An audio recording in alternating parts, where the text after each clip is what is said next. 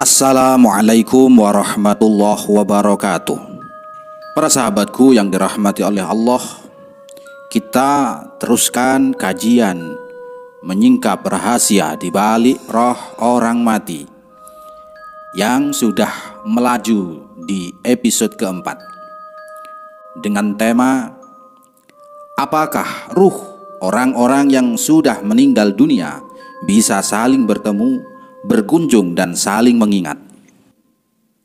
Pertanyaan ini merupakan hal penting. Adapun jawabannya adalah sesungguhnya ruh itu terbagi menjadi dua.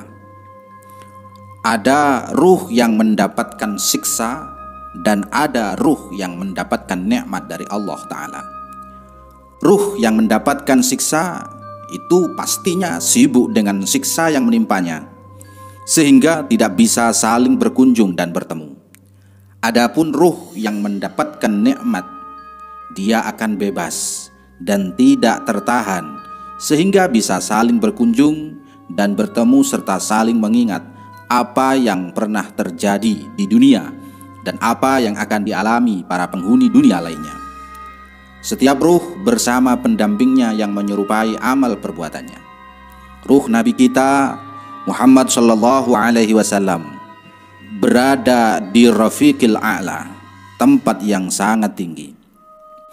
Allah Ta'ala berfirman, "Wa may yuti'illaha war rasula faulaika ma'al ladzina an'ama Allahu 'alaihim minan nabiyyin was-siddiqin wasyuhada'i was-salihin."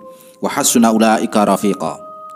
Dan barang siapa menaati Allah dan Rasul Muhammad, maka mereka itu akan bersama-sama dengan orang yang diberikan nikmat oleh Allah, yaitu para nabi, para pecinta kebenaran, orang-orang mati syahid, dan orang-orang saleh. Mereka itulah teman yang sebaik-baiknya. An-Nisa ayat 69. Kebersamaan ini berlaku di dunia di alam barzah dan pada hari pembalasan. Seseorang akan bersama dengan orang yang dicintainya pada tiga fase kehidupan.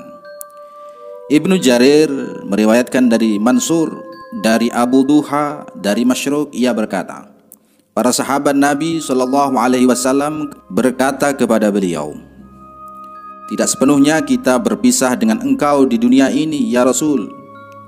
Jika engkau wafat, Engkau akan ditinggikan di atas kami sehingga kami tidak bisa melihat engkau lagi. Oleh karena itu, Allah Ta'ala menurunkan ayat ini, yaitu, dan barang siapa menaati Allah dan Rasul, maka mereka itu akan bersama-sama dengan orang yang diberi nikmat oleh Allah, yaitu para nabi, para siddiqin, orang-orang yang mati syahid dan orang-orang saleh. Mereka itulah teman yang sebaik-baiknya.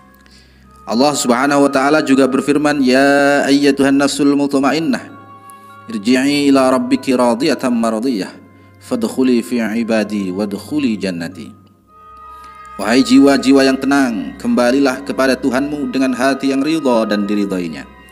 Maka masuklah ke dalam golongan hamba-hambaku dan masuklah ke dalam surgaku. Al-Fajr ayat 27 sampai 30.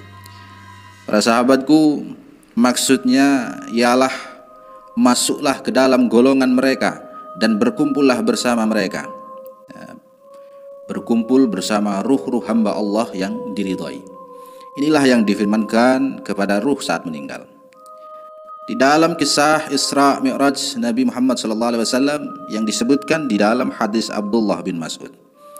Ia berkata, ketika Nabi Muhammad SAW dimi'rajkan, beliau bertemu dengan Ibrahim, Musa dan Isa. Lalu mereka saling mengingatkan akan hari kiamat. Maka lebih dahulu mereka menanyakan kepada Ibrahim. Namun Ibrahim tidak mempunyai pengetahuan tentang hari kiamat itu. Lalu mereka menanyakan kepada Musa. Namun Musa juga tidak mempunyai pengetahuan tentang hari itu. Akhirnya mereka sepakat untuk menyerahkan masalah ini kepada Isa. Kemudian Isa berkata, Allah Azza wa Jalla memberitahukan kepadaku perkara-perkara sebelum datangnya hari kiamat. Lalu Isa menyebutkan munculnya Dajjal. Seraya berkata, aku akan turun dan aku yang akan membunuhnya. Kemudian manusia kembali ke tempatnya masing-masing. Muncullah Ya'jud dan Ma'jud serta rombongannya yang keluar dari segala penjuru. Mereka tidak melewati air melainkan minum hingga habis. Tidak melewati sesuatu melainkan langsung merusaknya. Kemudian manusia memohon kepadaku. Lalu aku berdoa kepada Allah agar mematikan mereka, Ya'jud dan Ma'jud. Namun setelah mereka mati, Ya'jud dan Ma'jud mati, bumi memohon kepada Allah karena ia tersiksa oleh bau bangkai mereka, Ya'jud dan Ma'jud. Manusia memohon lagi kepadaku. Aku pun berdoa kepada Allah agar mengirimkan air dari langit, air hujan, dan menghanyutkan jasad-jasad mereka, Ya'jud dan Ma'jud, lalu melemparkannya ke dalam laut. Kemudian setelah itu gunung-gunung meletus dan bumi diratakan menjadi satu hamparan. Lantas Allah memberitahukan kepadaku bahwa jika hal itu terjadi, itulah hari kiamat bagi manusia. Wanita yang hamil tidak lagi diketahui oleh keluarganya. Kapan ia akan melahirkan bayinya, pada waktu siang atau malam. Hadis ini disebutkan oleh Al-Hakim Bahaki dan lainnya. Dan hadis ini juga merupakan dalil yang menyebutkan bahwa ruh-ruh itu saling mengingatkan tentang ilmu. Para sahabatku, para teman-temanku rahimakumullah, banyak riwayat yang serupa tentang hal ini. Seperti yang disebutkan oleh Saleh bin Bashir. Ia berkata, aku pernah mimpi bertemu Atta As-Salimi tidak lama setelah ia meninggal dunia. Aku berkata kepadanya dalam mimpi itu, Semoga Allah merahmatimu karena sudah sekian lama engkau selalu dirundung kesusahan di dunia. Ia menjawab demi Allah, kondisi yang demikian itu selalu dirundung kesusahan sewaktu di dunia membuahkan kegembiraan dan kesenangan yang abadi kata atau As-Salimi dalam mimpinya Saleh bin Bashir. Aku bertanya lagi loh, hebat kali di tingkat manakah engkau berada? Ia menjawab, Aku bersama-sama dengan orang yang diberikan nikmat oleh Allah, yaitu bersama para nabi, para pecinta kebenaran, para siddiqin, para syuhada dan orang-orang saleh. Mereka itulah teman yang sebaik-baiknya. Kemudian ada lagi Abdullah bin Mubarak berkata, Aku bermimpi bertemu Sufyan as-Sawri tidak lama setelah meninggal dunia. Maka aku bertanya kepadanya, apa yang diperbuat Allah terhadap dirimu? Ia menjawab, aku bertemu Nabi Muhammad SAW dan pasukannya atau para sahabatnya. Telah diriwayatkan di dalam As-Sunnah An-Nabawiyah secara jelas tentang ruh-ruh yang saling bertemu dan saling mengenal. Ibnu Abi Dunya berkata, Muhammad bin Abdullah bin Bazil telah menceritakan kepadaku. Fudail bin Sulaiman An-Numairi telah mengabarkan kepadaku Yahya bin Abdurrahman bin Abu Labibah telah menceritakan kepadaku. Dari kakeknya ia berkata ketika Bishr bin Barra bin Ma'rur meninggal dunia tampak kegembiraan memancar dari wajah Ummu Bishr ibunya. Ia berkata wahai Rasulullah ia senantiasa berharap agar meninggal dunia lebih dulu dari Bani Salamah. Lalu apakah orang-orang yang sudah meninggal itu bisa saling mengenal sehingga aku dapat mengirimkan salam untuk Bishr ya Rasulullah Rasulullah lalu menjawab, "Iya, bisa. Demi diriku yang ada di genggamannya, wahai Ummu Bishr, ibunya Bishr, sesungguhnya orang-orang yang sudah meninggal dunia itu saling mengenal sebagaimana burung-burung yang ada di pucuk pohon." Saleh Al-Murri berkata, telah sampai kabar kepadaku bahwa ruh-ruh itu bisa saling bertemu setelah meninggal dunia. Ruh-ruh yang lebih dahulu meninggal bertanya kepada ruh-ruh yang mendatangi mereka, Bagaimana tempat kembalimu? Di tubuh seperti apakah dulu engkau berada? Di tubuh yang baik ataukah yang buruk?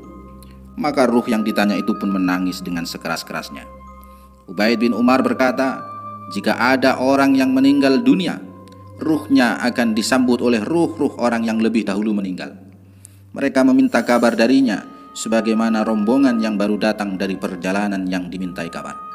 Hei, apa yang dilakukan fulan? Apa yang dilakukan fulan, bagaimana kabar anakku, bagaimana kabar istriku dan lain-lain.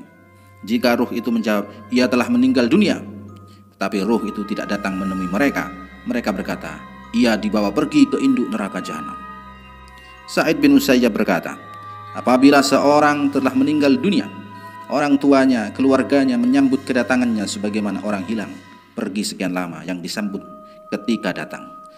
Berarti ketika ayah kita meninggal dunia, bapak kita meninggal dunia, ayah kita atau kakek kita itu akan disambut oleh mbah-mbah atau ayahnya ayah kita.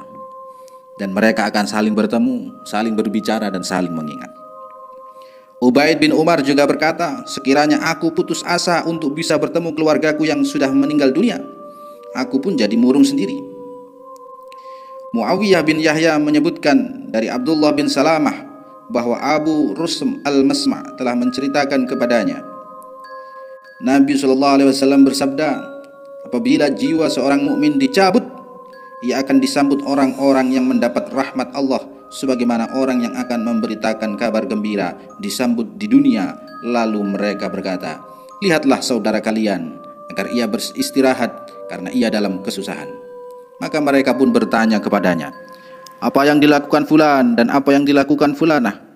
Apakah fulanah sudah menikah? Apakah uh, Pak Paijo sudah menikah atau kabarnya gimana dan lain-lain pertanyaan-pertanyaan para ruh itu jika mereka bertanya kepadanya tentang seseorang yang mati sebelumnya, lalu yang ditanya menjawab, "Ia sudah meninggal sebelumku." Maka mereka berkata, "Inna lillahi wa inna ilaihi rajiun." Rupanya ia pergi ke induk neraka jahanam. Induknya menjadi buruk, begitu pula yang masuk di dalamnya. Para sahabatku rahimakumullah. Demikianlah kajian tentang menyingkap rahasia di balik orang mati dengan tema para ruh yang bisa saling berkunjung dan saling mengingatkan. Yang kami ambil dari kitab Ar-Ruh. Semoga kajian ini bermanfaat. Wallahu a'lam bissawab.